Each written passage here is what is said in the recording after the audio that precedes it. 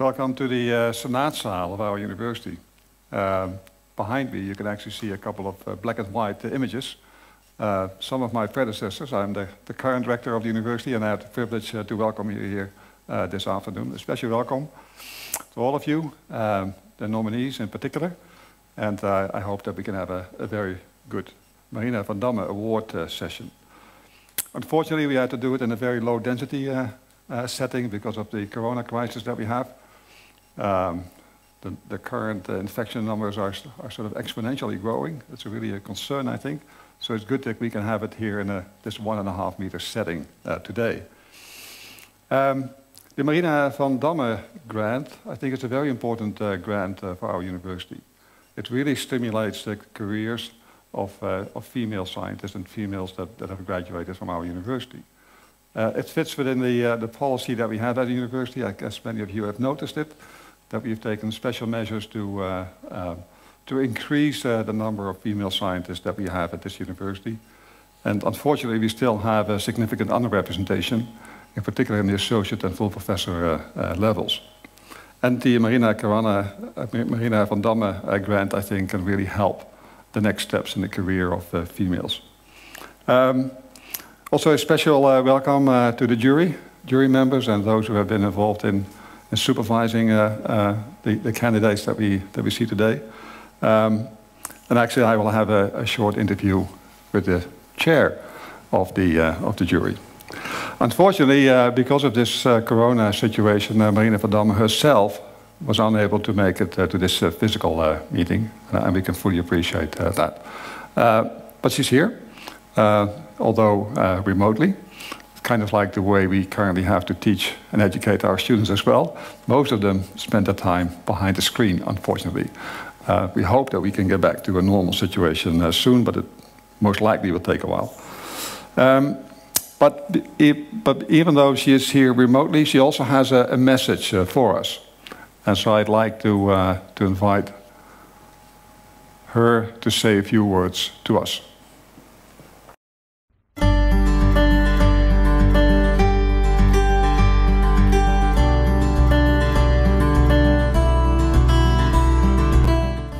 I'd first like to tell you that my parents were born both before 1900 in a very, very small village in the southwest part of the Netherlands. They were able, raising four children, of which I'm one, uh, into people who had a very good high school education. In my case, my results from the high school were that good that I received a rent-free loan of the government to start a study at the university. It was a different time from now. There were only 50 girls studying in Delft with 5,000 boys studying there.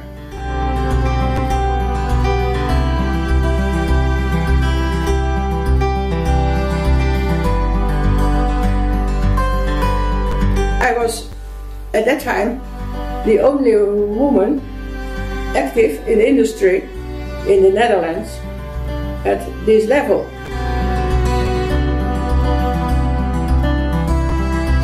What I really wanted, that is, that more women would have the possibility to get a business work, a work in the labor force which made it possible for them to further develop them themselves to a more interesting function than where they were starting and mainly were kept for the rest of their lifetime. The real work has to be done by the, the women themselves because it's not a grant, it's not an award. It is really a scholarship which they have been asking for and they had to be working very very hard to achieve their goals and they have to continue their work to really make their ambitions true. I like to thank all universities for their willingness they expressed to continue with the organization of the fund after my death. I'm really very, very grateful for that. Thank you.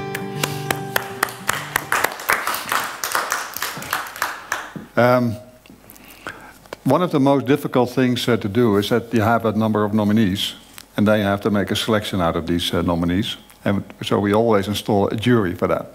And we're very privileged that we can have the, the chair of the jury with us today, Elena. Um, we're very happy that you can be here, and, and we'd like to learn a bit more about how, how this materialized uh, in your setting. Could you please come forward and, and share it with me?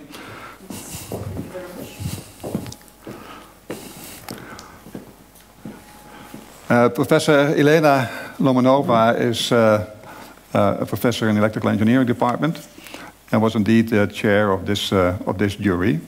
And I have a few questions uh, to you related to this uh, Marina van Damme grant. Um, so what's the importance of this grant to our university?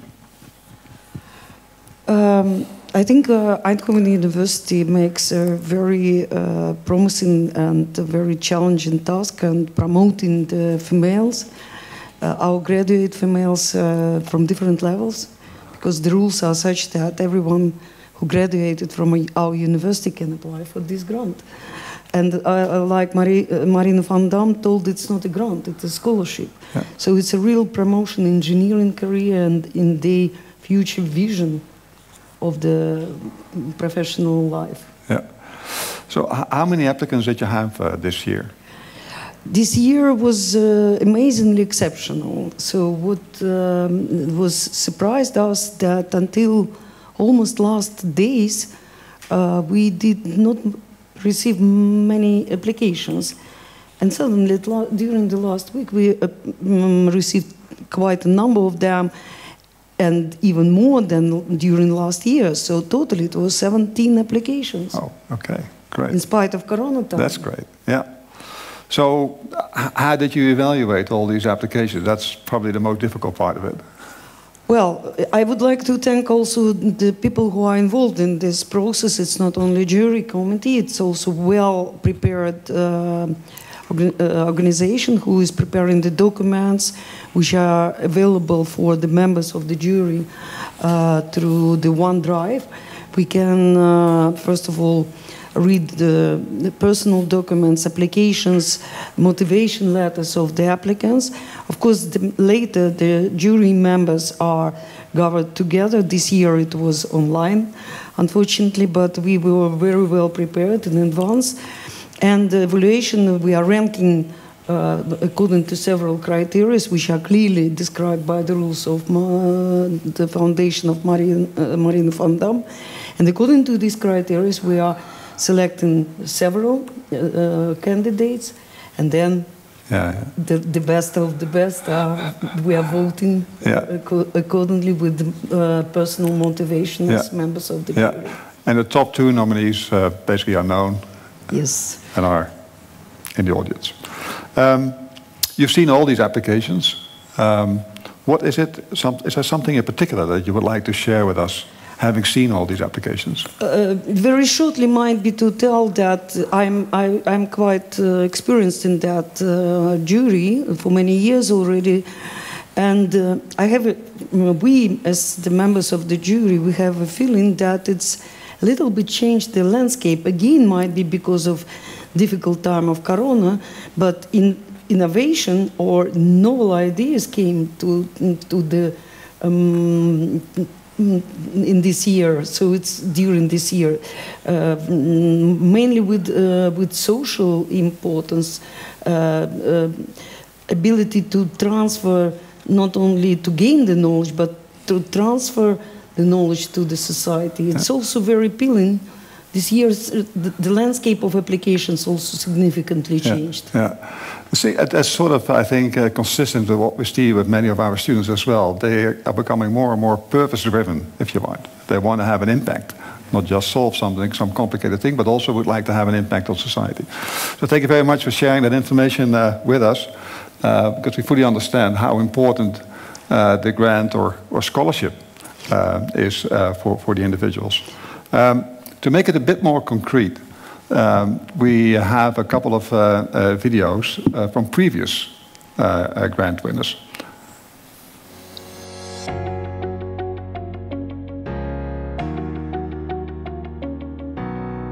Hello, my name is Nicole Segers and I'm the 2012 winner at Technische Universiteit Eindhoven. Thanks to the Marina van Damme grant, I've been able to make huge steps. Not only did I get to work on circular economy in construction, I also studied immunity to change. Psychology of social innovation, oh, it intrigues me deeply, you know. I really discovered my passion and as an entrepreneur, I'm now really working hard on sustainability with a smile, or in Dutch, duurzaamheid met een lach.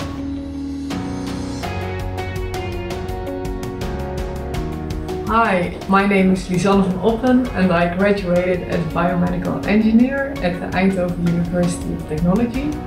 And in 2016 uh, I applied for the Marina van Damme grant uh, to visit an institute in bioengineering in Barcelona to learn a new uh, microscopy technique. And I was uh, very happy and grateful that I was awarded uh, with the grant to enable this project.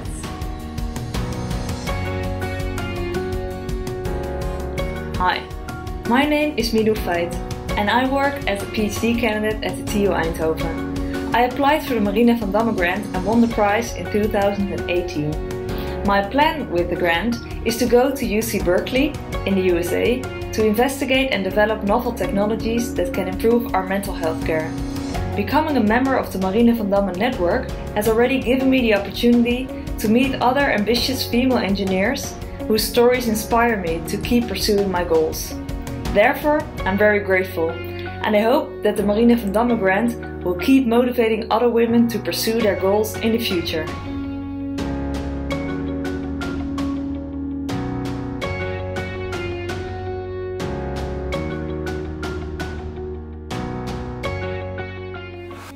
Great uh, to see uh, this because these people have really used the scholarship to take the next step uh, in their career, and I think they're working on wonderful uh, uh, subjects, and they can ultimately, I think, have a significant impact on what we do um, in, in, life. Um, this year we go to the 13th winner of the um, of the uh, Marina van Damme Award, um, and there were two uh, two applicants that are sort of in this, out of the 17, you selected the two, the runner-up and, uh, and the winner. Um, the two that stood out were uh, Regine Sumo and uh, Federica Samali.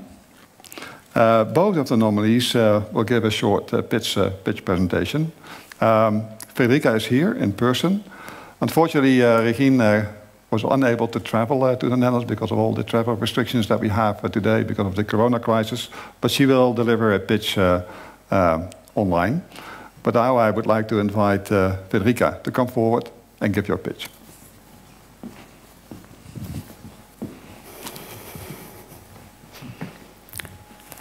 Good afternoon, everyone. I'm Federica Samali, and I come from Italy, Rome, where I received my master's degree in biomedical engineering. Immediately after, I moved to Eindhoven to pursue my PDEng degree in healthcare system design and then a PhD in electrical engineering. During my PDEng and uh, PhD, I've been focusing on a topic that affects millions of women around the world, infertility and pregnancy problems. During my measurements in the hospital, I could perceive the pain and frustration of these women. I didn't expect this could happen to me, changed dramatically my life to the point of breaking down. Um, I started regaining motivation through research uh, with my postdoc position in earlier detection of cardiovascular disease in collaboration with Eindhoven, uh, with, uh, sorry, Catharina Hospital in Eindhoven. I was trying to keep my enthusiasm, but all the positive aspects of being a postdoc turned into negative ones exacerbated by limited chances for a stable academic position, brevity of contract, uncertain future and low salary, and become overqualified for a job in an industry. I lost my drive to work and I felt a failure as a woman and engineer. But as Einstein said, life is like riding a bicycle, and if you want to stay in balance, you have to move. Inspired by that, I collected all my strength and I tried to move on. To this end, I applied for the Marina van Damme grant. If I'm given the opportunity, I would like to use this grant to give shape and direction to my professional career by pursuing my ambition of becoming a clinical physicist, establishing myself as a solid bridge between medicine and engineering. I would like to achieve that by creating a tight collaboration with doctors, researching new technologies, conducting clinical trials, helping in clinical decision making, analyzing biomedical signals, be involved in professional training and teaching, and also attending the Dutch courses, which is fundamental to work in a hospital environment. I would like to focus on my professional development, maximizing my ability to pursue a high-level biomedical research career in a hospital by enrolling in a specific courses and training. To conclude, the Marina van Damme grant is fundamental for my career breakthrough.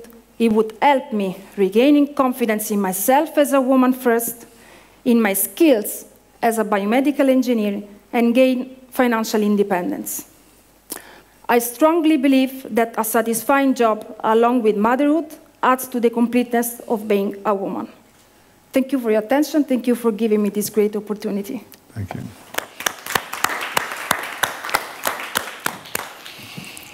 The, um, like I said already, Regine uh, was unable to be here live, uh, but nevertheless she has a pitch and we would like to present that to you as well. Can I start? Yes, you can. Yes, okay, thank you very much. Uh, everyone, I'm very sorry I couldn't be there live, unfortunately, but I'm very grateful I could do this online. First of all, I'd like to uh, thank Marina Damme for, for this opportunity. I really admire what you have achieved so far and what you do for the, um, for the women in the society. I hope one day that um, I can look back at my career and say that I, that I um, I did the same thing, and with the idea that I'm here going to present, I hope this will be a very small step towards uh, achieving that. Um, um, um, originally, I was born in Iraq. I came to the Netherlands at the age of seven, and I received my PhD at uh, Technische Universiteit van Eindhoven in 2014. I'm now going to share my screen so that you can see the page. So what I'm going to present here today is MediConnect. MediConnect is an e-health uh, project. Um, it all started when I was looking at the uh, rural numbers and infant mortality rate in the Middle East and Central Asia, where we see that the infant mortality rate is significantly higher than what we observe um, across the world. Um, and especially when you deep dive into the data of healthcare supply in these regions, we see that the healthcare supply is inefficient, costly, and difficult to access. For example, the average physician density is lower than the world average, and it's even lower than required by WHO to achieve coverage of primary healthcare needs. Whereas if we compare this to the healthcare supply in Western countries such as OECD countries, we see that there's sufficient supply of quality healthcare and the average physician density is significantly higher than in rural areas in Central Asia and the Middle East. So I thought, why not bring these points together? And I came up with MediConnect. MediConnect is a telemedicine company, particularly focused on pregnant women. And why pregnant women? Because research has shown that telemedicine for pregnant women before and after birth significantly lowers infant mortality rate. Um, this is even more true for high-risk pregnant women in these rural areas as this group can be closely monitored without having to travel to the hospital. You might think, okay, what's the deal? They can travel, but no, sometimes it might take more than a day for these women to get to the hospital. So early on, seeing the baby movements, seeing the risks, um, to tell these women so that they can go and plan ahead and go um, to the doctors or the hospitals in another city far away from where they live. So the innovativeness of MediConnect lies in multiple factors, but the ones I would like to highlight are that it's a cheaper way of quality healthcare and it's convenient for patients in rural areas. Um, MediConnect will connect these pregnant women with Western doctors, but also doctors in their areas as well. In addition to that, the aim is to collaborate with humanitarian health movements such as the Red Cross so that they can provide their services for these women without necessarily having to travel to these often war zones. And at a later stage, the aim is also to uh, collaborate with other high-tech uh, e-health apps um, and um, integrate it into the MediConnect app. One of them is, for example, the portable sonographies, which have been recently developed by Philips, so that these portable sonographies can either be used by the women or the midwives uh, who live at the same village. And this way they can track data real life and send the data on distance to a doctor so that they can see and track the health of the baby and the mother. So the Marina van Dam grant will be used to transform the current prototype, which I have already developed, into a workable app to be accessed via a smartphone by these women, hopefully. Um, I thank you very much for your attention. Thank you. Well, I think these two uh, pictures uh, clearly show that you really have a personal motivation in what you would like to achieve. And both examples, I say, beautiful examples of purpose-driven uh, things that you would like to do in the future. So I really enjoyed uh, listening to them. Um, but now it's also the moment that we announce the, the winner of, uh, of this year. And, uh, well, the jury has made this selection, and the Marina van Damme grant of this year, 2020, and the winner is uh, Regine Sumo.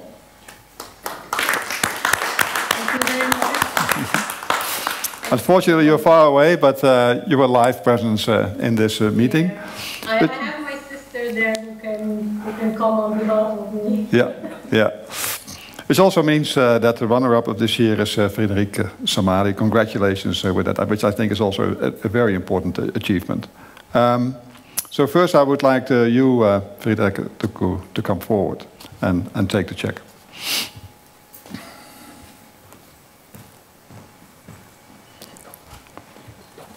Yeah, yeah. Unfortunately, I cannot give it to you uh, in, in, person, but uh,